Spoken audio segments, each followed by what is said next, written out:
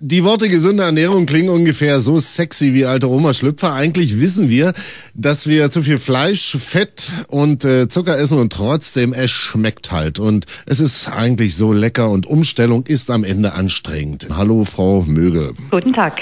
Unter gesunder Ernährung findet man oft unterschiedliche Erklärungen oder Definitionen. Was genau ist denn nun gesunde Ernährung? Ja, wie Sie schon sagen, gibt es da viele Definitionen. Da gibt es zum Beispiel von der Deutschen Gesellschaft für Ernährung zehn Leitlinien.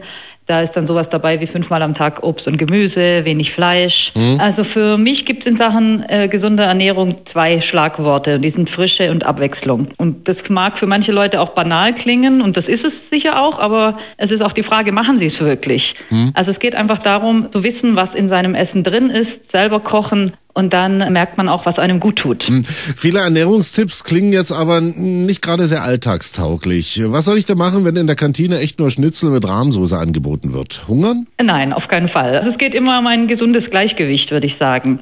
Mir hat mal ein Ayurveda-Arzt, Dr. Bauhofter, den schönen Satz gesagt, einmal ein Schnitzel im Bauch ist besser als ständig eins im Kopf. Und da hat er sich recht. Wenn man mal Lust auf einen Schnitzel hat und nicht Vegetarier ist, dann kann man das schon mal machen. Problem ist halt, wenn es jeden Tag das Schnitzel sein muss. Dann ist es besser, besser, ein paar Tagen die Woche gesünder zu essen. Mhm. Viel kann man auch zu, von zu Hause mitnehmen. Man kann sich Snacks vorbereiten, Salate, Vollkorn-Sandwiches. Und dann darf es auch mal wieder das Schnitzel sein. Jetzt ist so eine Umstellung nicht gerade leicht. Wie geht man da am besten vor? Ja, ich denke mal vielleicht am besten in, in, in kleinen Schritten. Das ist für jeden natürlich auch anders. Ähm, der eine fängt vielleicht mit, äh, mit dem Frühstück am Morgen an, mhm.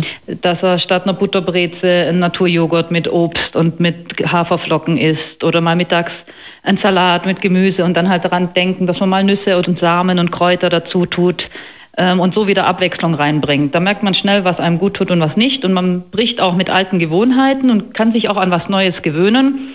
Und mit der Zeit entwickelt man auch richtig Lust auf das Neue. Also da hilft viel wirklich zu kochen und neue Rezepte auszuprobieren.